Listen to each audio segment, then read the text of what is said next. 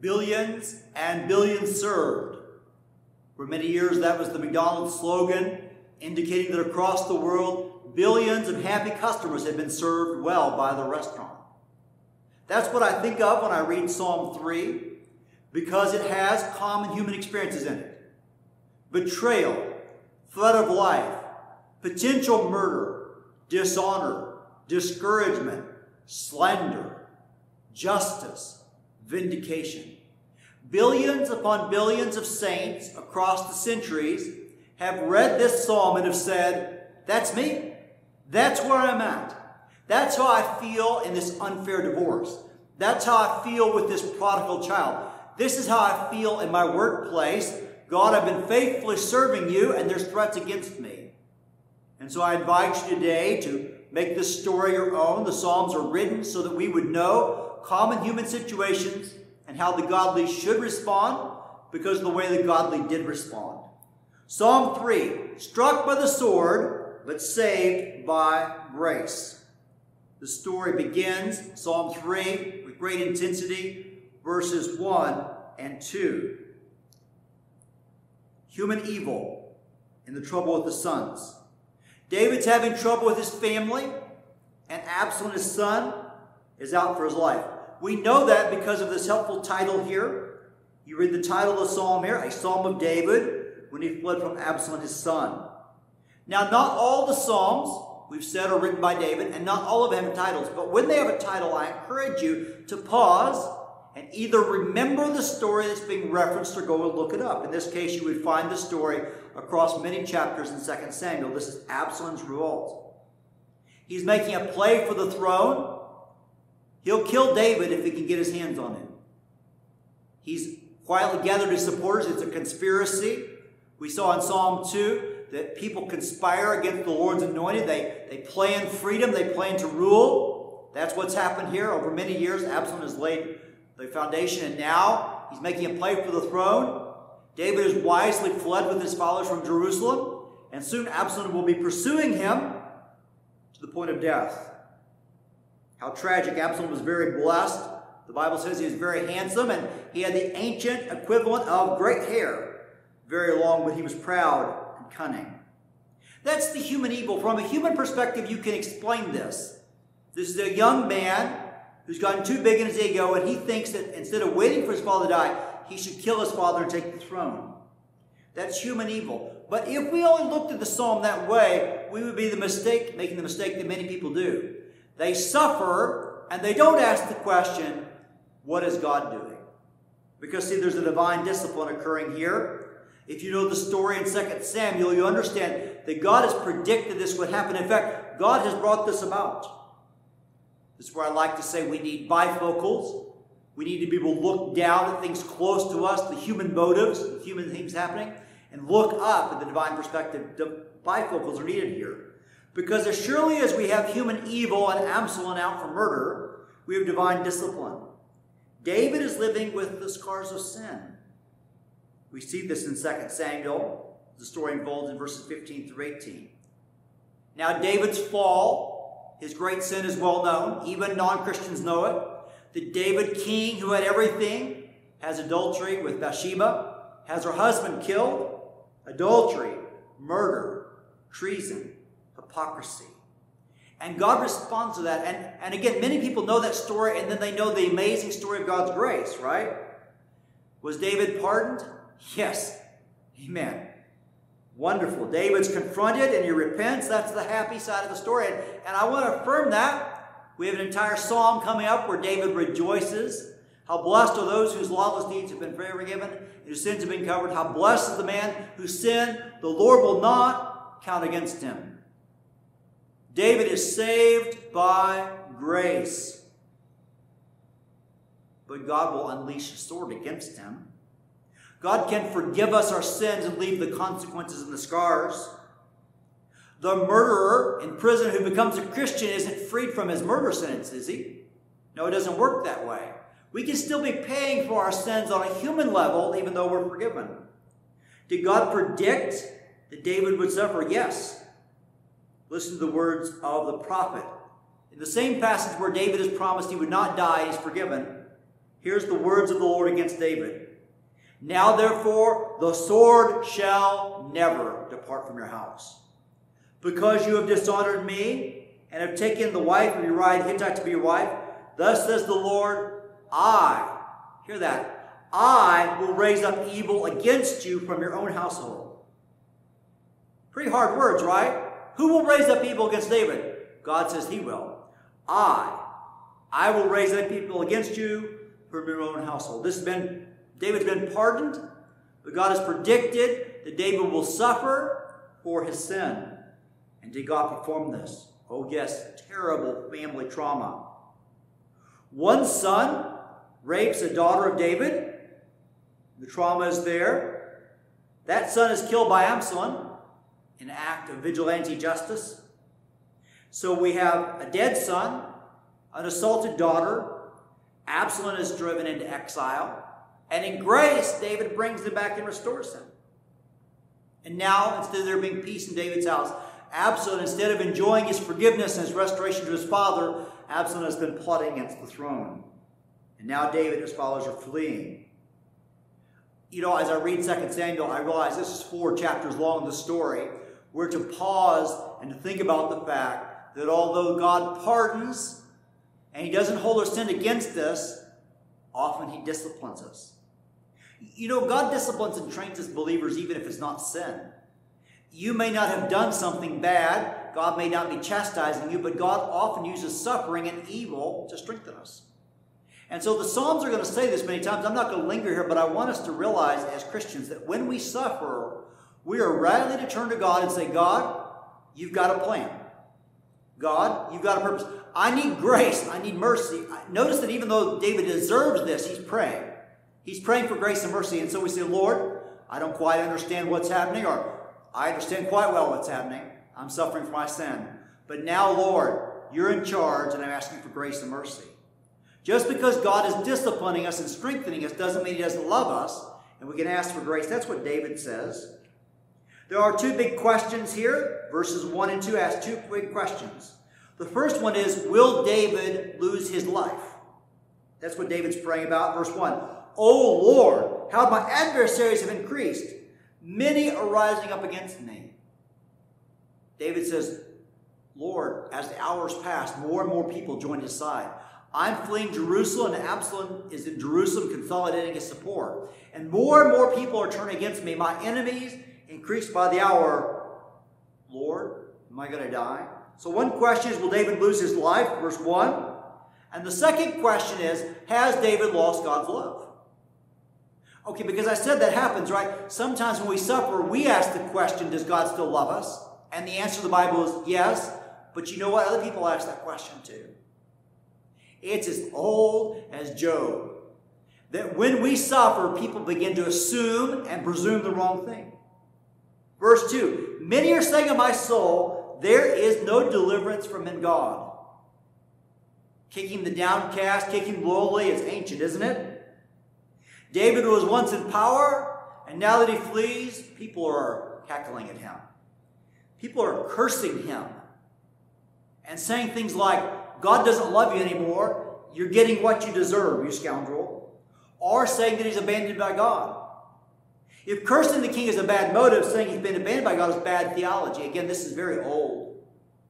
We have this weird view as human beings that if we suffer, God is angry with us, and if we're blessed, God is happy with us. Absalom is feeling quite good in Jerusalem. Surely God has blessed him. He's king after all. He succeeded. And here's David fleeing and hurting and weeping. And people are deciding that David doesn't get God's love anymore. You want to see a New Testament example of that, turn to John 9, where the disciples see a man born blind and they say to Jesus the classic question of the Jews did this man sin in the womb, or did his parents sin? Because surely sin occurred because of blindness. And Jesus shows that's not the case. So the big question will David lose his life? Because he has many adversaries, verse 1. And number two, has David lost God's love?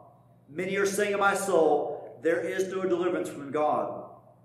Before we get to the answer to those questions, I want to make three prayer applications. Because this whole psalm drives us to prayer. It's very helpful that in January, often in churches, we have a prayer emphasis. So here it is from the psalm how we pray. Number one, in prayer, speak to God instead of being silent. In prayer, speak to God instead of being silent. Now, some of you are blessed with being tough, and some of you are blessed with a stiff upper lip. And because of your personality or your family, almost nothing levels you. And when you're suffering, you go silent and you say, Well, I just got to bear this. I just got to put up with it. I just have to endure. I just have to be tough. And let me say to you that toughness doesn't work with God. You don't have to go blabbing, and complaining all your problems to other people, but you need to speak to God about them. Silence in your suffering is deadly. You know, we know that medically and emotionally. We know that anger and frustration that are kept in, not expressed, lead to depression. Now, notice David doesn't speak to other people. So it is true that you and I shouldn't be telling everybody all of our problems and lamenting, grumbling, and moaning and complaining. Okay, that's a different problem. But notice that David freely speaks to God everything that's in his heart. So in prayer, speak to God instead of being silent. And I, I fear in our rural context here in southern Illinois the, that people are tough here, that they don't often express their pain. They, they bear it and endure it. And the question is, do you take it to God? Because David is quick to say, Excuse me, God, I'm suffering. And you and I need to do that. And if you would go to God more with your suffering, you'd pray more. Find me a Christian who's not praying much, and I'll find you a Christian who's not handling the suffering very well. So, number one, in prayer, speak to God instead of being silent. And number two, speak to God in prayer instead of threatening enemies or striking them. You see, David takes his anger, David takes his pain, he takes it to the Lord, and he hands it off. He doesn't hold it within, but he takes it away. Instead of getting angry with Absalom, instead of getting angry with his enemies and threatening them, as he surely could, he still has an army, or striking at them, David prays. You see, you and I are to be peacemakers, right? Blessed are the peacemakers, for they shall be called the sons of God. You and I are to seek peace at all price. We're to pray for our enemies and love those who persecute us. Well, how do we do that? Well, we, first we take our pain to God in prayer, and we leave it with Him.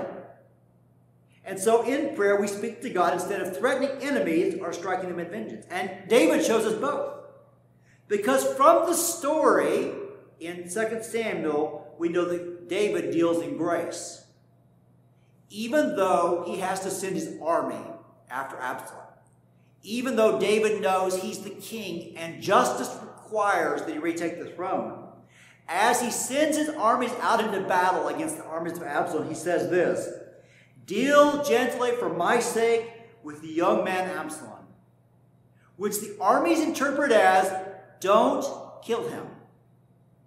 So, so David knows what needs to happen. He needs to win. This needs to happen. David needs to be spared. He knows the righteous side. David's not doubting himself. But David says, as you do this battle, protect my son. You see, David's dealt with his anger towards God. He's expressed to his God his sorrow and he's willing to forgive Absalom a second time. He's forgiven him for killing his son. He's going to forgive him for trying to kill him. If Absalom survives his battle, David would have surely taken care of him every day of his life. Even harder, I think, you know, we can say, well, that's the father's love for a son, is that as David's fleeing Jerusalem, we actually have a scoundrel who's cursing him. So again, that skeptic, that person who says when you're suffering, well, you deserve it, you're getting what comes to you.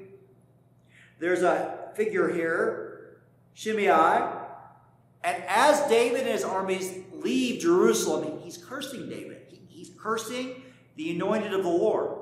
This is a horrible sin towards God, but it's a horrible personal offense. Here's what he shouts after David Get out! Get out, you man of bloodshed and worthless fellow. So bad is the cursing and the taunting that David's soldier says to him, why should this dead dog curse my lord the king? Let me go over now and cut off his head. Uh, okay, I mean, I understand that David's soldier is a little out of line here, but, but you understand this. King, this fool is cursing you. The Lord's anointed. I'll take his head for you. And how easy it would have been David to say, Yes, yes, this is evil against me. Go bring vengeance upon his head. But David won't. David won't let his armies hurt Absalom, and he won't let his soldiers hurt this cursing man because David is taking his prayer and his pain and his petitions to God. In prayer, speak to God instead of being silent. In prayer, speak to God instead of threatening your enemies or striking them. And number three, in prayer, apply the gospel backward and forward. So when you and I are hurting, when, when we've been betrayed, when bad things happen, we look back and we say, just as Jesus, so I will. Because don't you see Jesus here? Jesus comes a little bit later in history, but he's the perfect son. Whereas David's messed up with adultery and murder, Jesus is the perfect son. He is the only human being who needed no discipline. And yet, he was struck for us. He was punished for our iniquities. The punishment for us all was laid upon him. It was the Father's good pleasure to punish the Son as if he had done wrong because we had. David's suffering for his sins, Jesus suffers for our sins. He's the greater and perfect Son. And from the cross, just like David, Jesus won't threaten those who are mocking him. He is silent in the face of ridicule, and even speaks of forgiveness. He offers forgiveness. Father, forgive them. They don't know what they're doing. Even in his dying breath, he's reaching out to the thief on the cross. You see, what David does imperfectly, Jesus does perfectly, and it sets a model for us. So when we're betrayed, when we're suffering, we look back to Jesus and say, Oh, Jesus, give me the strength by the Holy Spirit to live in this situation with grace and love and mercy and forgiveness, just as you did. You know, that's his tormentors he won't threaten, but he won't even respond to those who are mocking him. This very theology that to suffer, especially suffer on the cross, means God doesn't love you, is what they say to him. The religious leaders at the foot of the cross say, He trusts in God, let him rescue him now, if he delights in him, for he said, I am the Son of God. Their argument is, Jesus, if your father really loved you, you wouldn't be there. You ran around our whole country talking about God like He was your father and God like He loved you, but look where you're at. You see, sometimes people are going to use bad theology against us. They're confused. They've conflated suffering with God's wrath. And one last parallel between David and Jesus. Remember that David's soldier wanted to draw the sword, and Jesus' soldier, Peter, did too. And Peter actually cuts off a slave's ear and Jesus forbids it. So, what are you and I supposed to do? Well, we're not supposed to seek vengeance, are we? We're to take it to God in prayer. That's the trouble with the sons. Then I see verses 3 through 4, the turning point of the story. I see that two ways that we get a turning point. Because what's going to happen is David's going to stop looking at his enemies and praying to God, and he's going to start looking to God and praying to God. So, so David's still praying, but after in prayer you and I think about we're enemies, and who are against us and the threats and the cancer and the disease and whatever is arrayed against us, after we think about that in prayer before God, then we think about God Himself. The turning point is when we turn our eyes upon God. I love that old hymn. Turn your eyes upon Jesus. Look full at His glorious face. And the things of earth will look strangely dim in the light of His glory and grace. We, we turn from our problems in prayer to God in prayer. And I see this marked out two ways. We have this word here in the Psalm, Selah that's written for us. Now, I have to be honest with you, we struggle to know what that means. Um, there's no consensus. It at least means a pause. It means a break in the psalm. So as the psalm is being read, it's a pause. It could mean, when you read the psalms, pause and meditate. It could be a musical instruction for the musicians to do something. It marks it off. And so there's a turning point marked off in the psalm after we read in verse 2 Many are saying in my soul, there is no deliverance from God. Pause. Because the story is changing. There's an intermission here. That's a turning point. And then you see verse 3, but. I love that. But. That means it's going to change. So David says, It's really bad, Lord. But, notice what he says, but you, O Lord. Listen, your prayers of lament, your prayers of sorrow will change when you say, But you, Lord. You see, you and I are taking our eyes off our problem. It's okay to start with our problem. That, that's right. And then we turn our eyes to Jesus, we look at the Father, and we say, But you, And it begins to change. Two marks there, the Selah and the But You, O Lord. What we're getting is what David's thinking and feeling in his heart. These is an insight into his private heart meditations. And again, this is helpful for us because we have been betrayed, probably. We probably will be betrayed before we reach heaven, right? Our, our people are saying things against us wrongly, and we turn to this. The turning point of the soul is looking to God, verses 3 through 4. You know, God knew that David needed this, and so God already taught David a lot. David had already received mercy. The prophet had told him he won't die. David's probably thinking, you know, God didn't kill me for adultery. He probably won't kill me now. David knows he's been promised the eternal kingdom, and so David begins to reflect upon God's promises.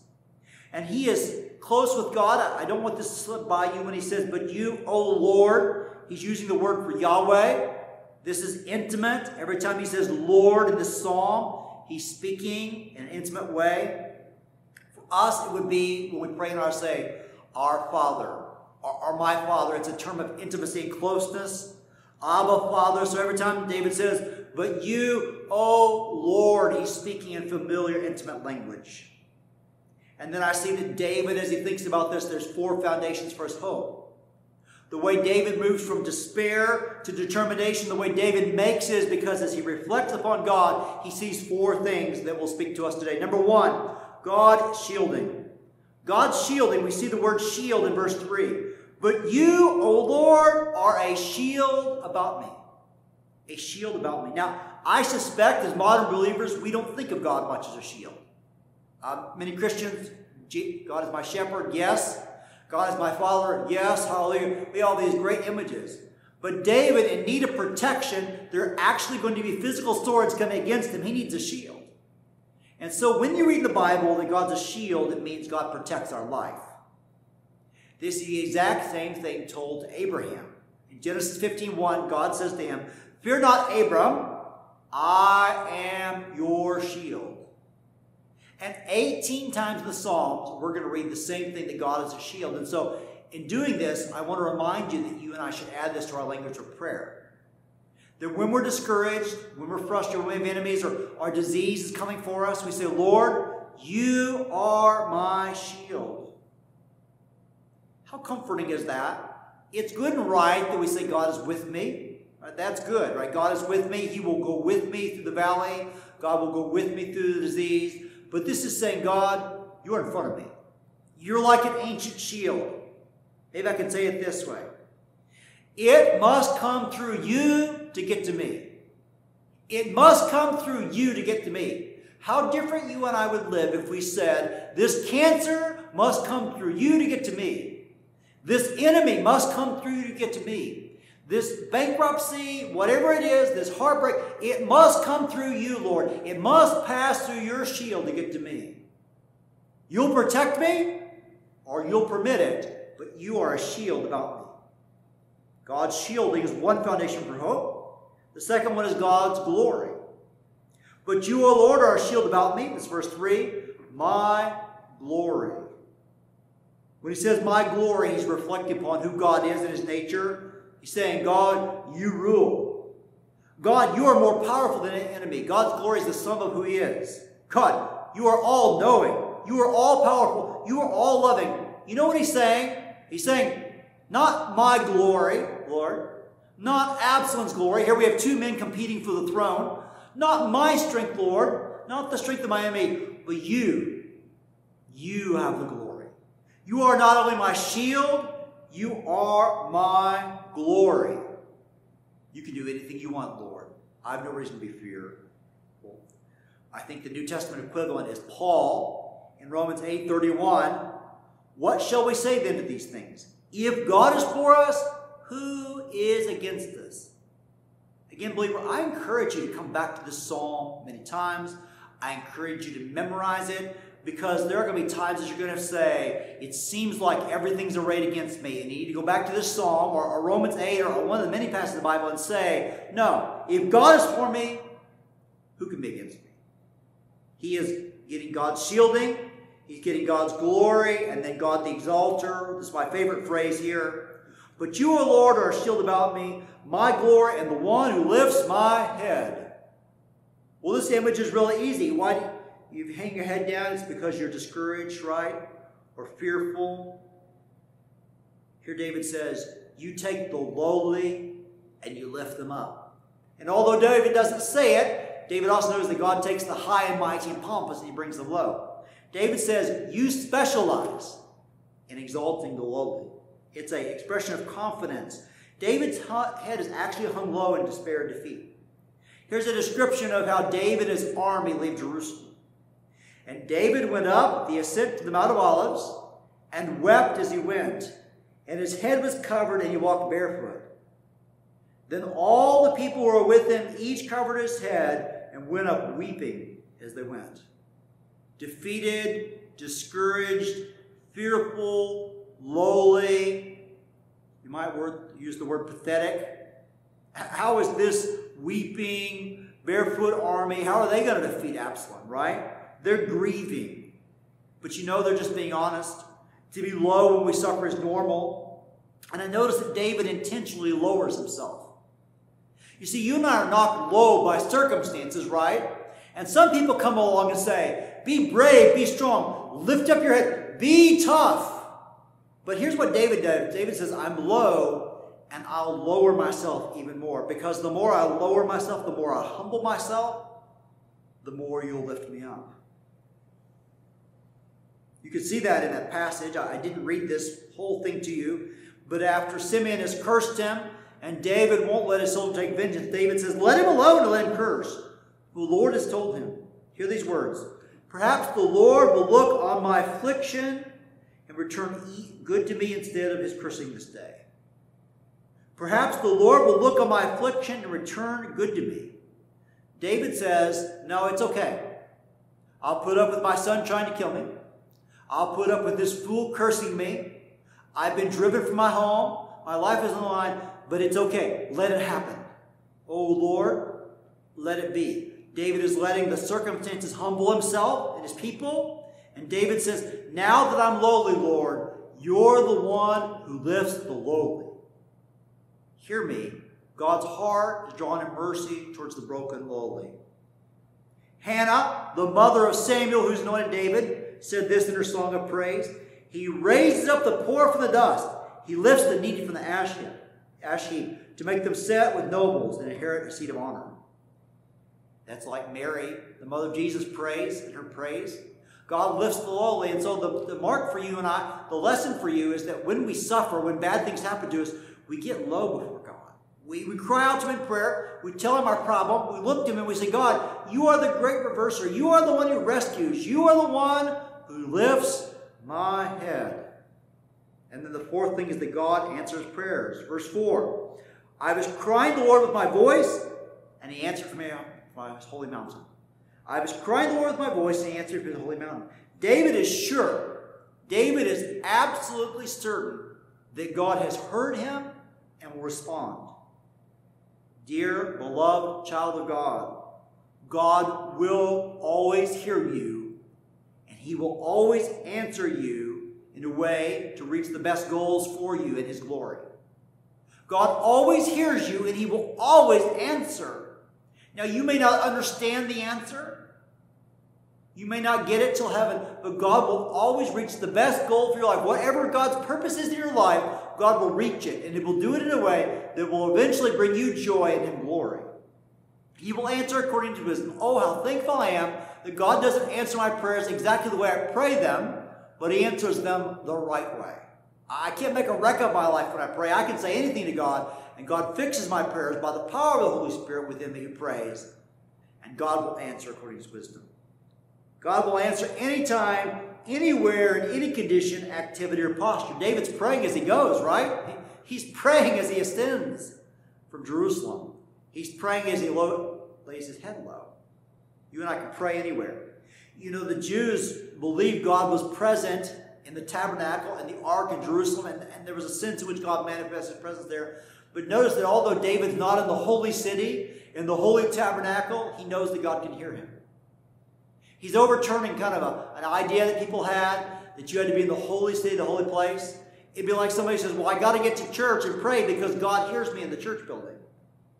Well, it's true that God's delighted when you pray in church, but God's with you wherever you're at. And so David knows, I have prayed, God's answered it. Again, God's got this.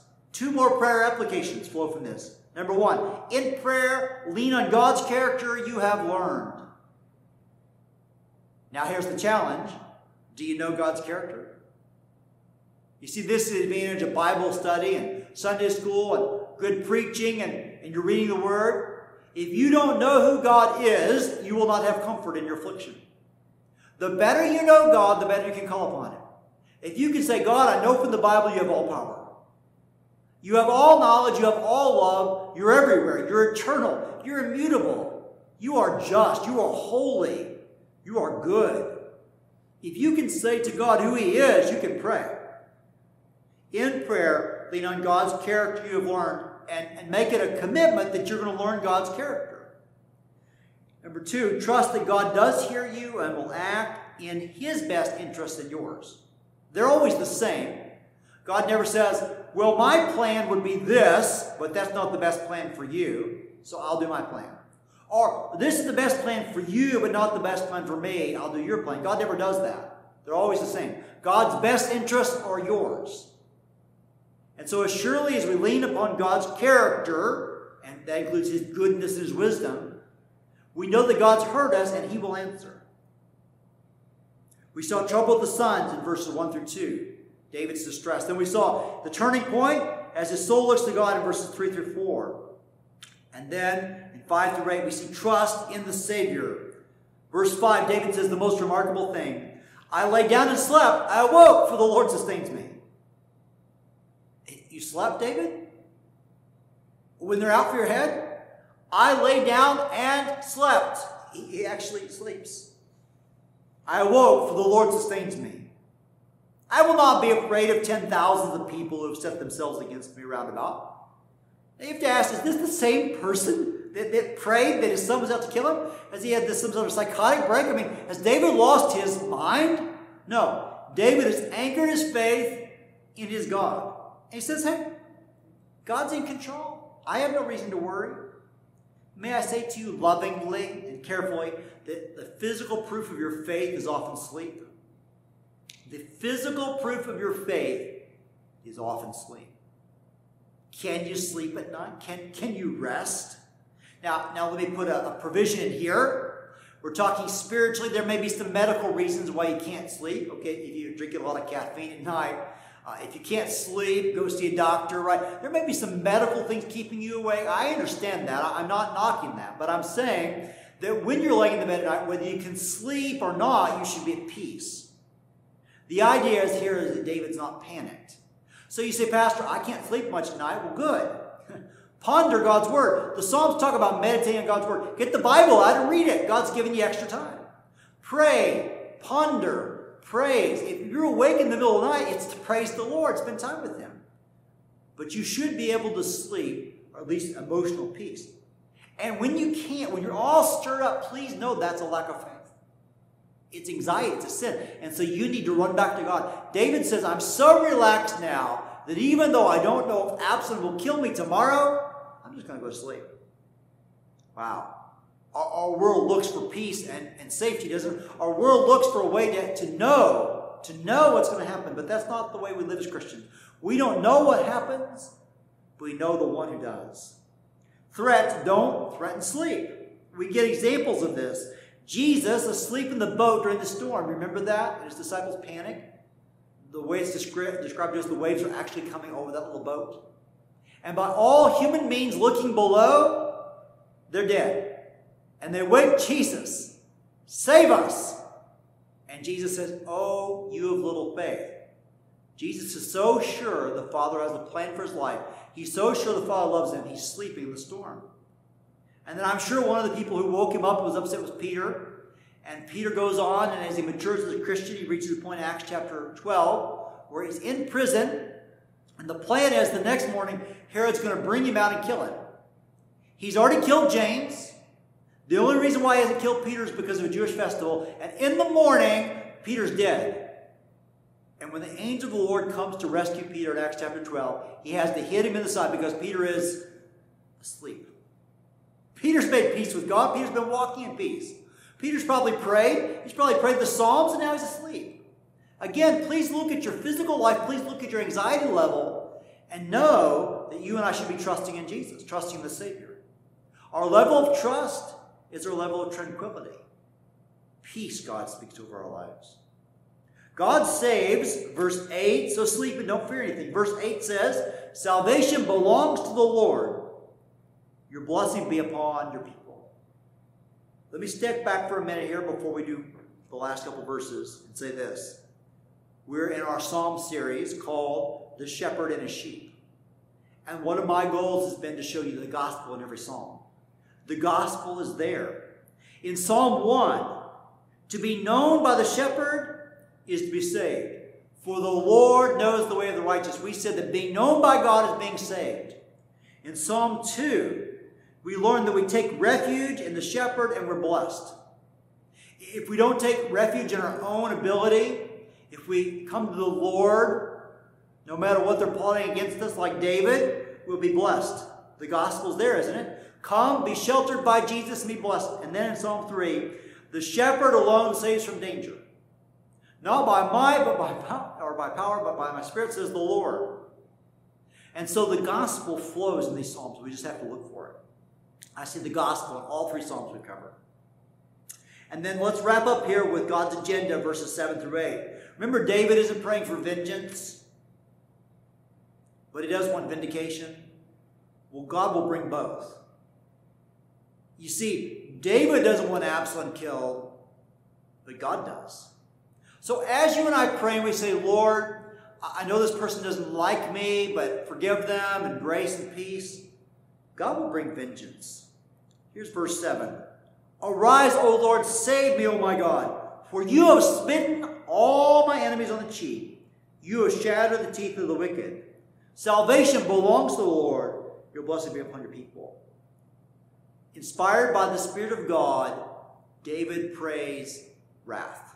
You hear that? David's willing to forgive his son. David's willing to not curse. But when it comes to God's justice and his righteousness, he gets angry. He gets stirred up. Arise, O Lord, save me. You have smitten all my enemies on the cheek.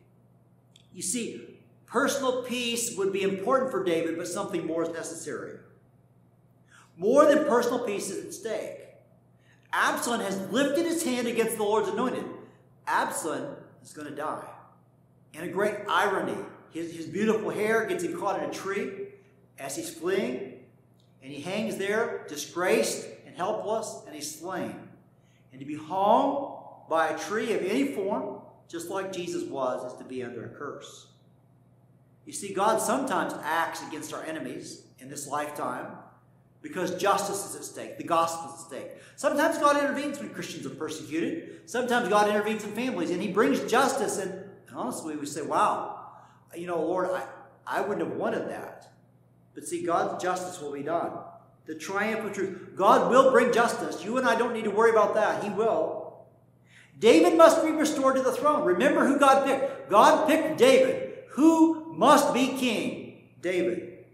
The Lord's anointed must defeat the schemers. You see, this is more than just David personally.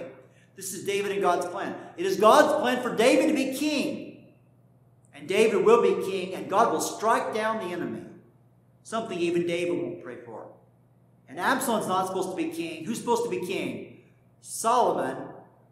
And David and Solomon form the line of the ancestors of Jesus. Jesus does not come from the lineage of Absalom.